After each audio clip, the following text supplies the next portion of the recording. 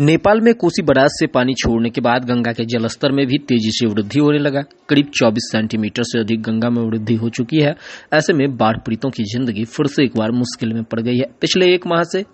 पहले से परेशान बाढ़ की परेशानी अब और बढ़ गई है। स्थिति ऐसी है कि भूखे भी सोना पड़ जा रहा। लेकिन प्रशासन पूरी तरह से अपनी ज़िम्मेदारी से भाग खड़ा हुआ है। लोगों के घरों में फिर से पानी भरना शुरू हो गया। ऐसे में हवाई अड्डा में शरण लिए बाढ़ पीड़ितों को प्रशासन यहाँ से भगाने के पीछे लग गई है। लेकिन इन लोगों का कहना है कि अभी हम जाकर कहाँ रहेंगे?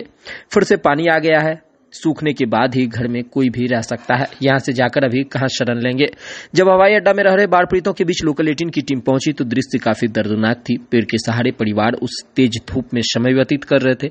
छोटे छोटे बच्चे चूरा व मूढ़ी खाकर भूख मिटा रहे थे। जब इसको लेकर लोकल एटीन की टीम ने जानने का प्रयास किया तो उन लोगों ने बताया कि हम लोगों का घर भी सही से नहीं सूखा है। यहाँ भी शिविर सब बंद कर दिया गया। अब सूखा भोजन के सहारे ज़िंदगी काटनी है। यहाँ तक लाइट की व्यवस्था खत्म कर दी गई है। किसी तरह इस जंगल में ज़िंदगी कट रही है। प्रीत बताते हैं, चार दिनों से लाइट तक काट दिया गया, आँखों से नींद ही खत्म हो गई है। हर हमेशा डर रहता है। कब कौन सा जानवर आ जाएगा, कहना मुश्किल है। अंदाज से अपने टेंट में सामान को खोजते हैं। दिन में धूप के कारण बच्चों को लेकर किसी पेड़ के नीचे समय बिताते हैं तो रात में पन्नी में जगह रहना पड़ता है। जहरीले जीव जंतु का डर बना होता है। उन लोगों ने बताया अगर कष्ट नहीं रहता तो हम लोग यहाँ क्यों रहते? स्थिति सामान्य होने पर खुद घर चले जाएँगे। पानी की क्या स्थिति है अभी? अभी बढ़ रहा है। कैसे आप लोगों का जीवन यापन हो रहा है? कैसे? ऐसे तंबू तोन के रहते हैं सत्तू फत्तू खाते हैं। कहाँ से आए हुए हैं? शाहजादपुर पंचायत। अमरी बिशनपुर अमरी बिशनपुर अच्छा एक चीज़ बताइए शिविर अभी लगा हुआ है खत्म कर दिया गया? खत्म कर दिया चार पाँच रोज हो गया।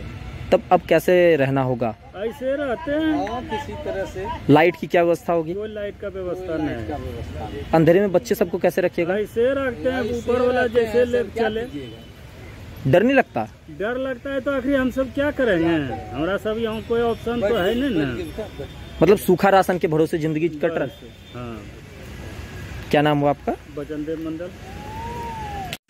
पानी की क्या स्थिति है? बढ़ रहा है। फिर से बढ़ने लगा। जी। अभी आप लोग कहाँ रह रहे हैं? अभी हवाई अड्डा में रह रहे हैं। कहाँ से आए हुए हैं? ग्राम नूरदीनपुर दुधेला शाहजादपुर पंचायत प्रखंड नारायणपुर। नारायणपुर से। कैसे ज़िंदगी कट रही है यहाँ पर? किसी तरह से चला रहे हैं सर। शिविर लगा हुआ था। शिविर लगा हुआ था शिविर खोला गया। अच्छा अब शिविर खोल दिया गया कितना परेशानी बढ़ेगा लोगों का? बहुत परेशानी बढ़ेगा। कैसे खाना पीना होगा आप लोगों का? किसी तरह से मन लगे खा पीते हैं सु सुखा सत्तू वगैरह और क्या। बच्चे को कैसे रखते हैं? बच्चे को अंधेरे में ही रखते हैं ये लाइट उइट सब खोल दिया गया है। आसपास जंगल भी है पूरा। जी। उसे डर नहीं लगता रात में? डर लगता है तो आखिर क्या कीजिएगा? भगवान भरोसे। भगवान भरोसे है। क्या नाम हुआ आपका? अवधेश मंडल। कितने दिनों से यहाँ रह रहे हैं? करीब दस पंद्रह दिन होता है सर पंद्रह दिन से? मतलब सूखा राशन के भरोसे ये ज़िंदगी कट रही है ना? जी। कैसे रहना होता है आप लोगों का?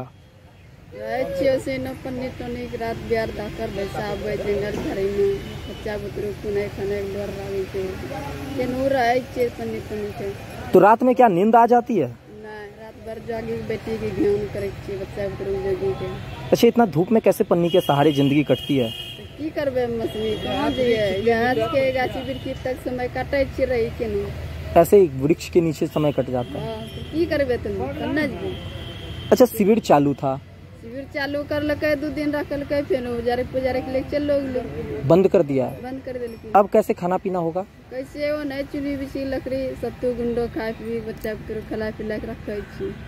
कहाँ से आए हुए हैं? अच्छा लाइट की क्या व्यवस्था है? लाइट बंद भे गेलै एक दू दिन बार लकै फिर खत्म कर देलकै। बंद कर अब गोद में छोटा बच्चा है ये सब बच्चे को कैसे रखेंगे?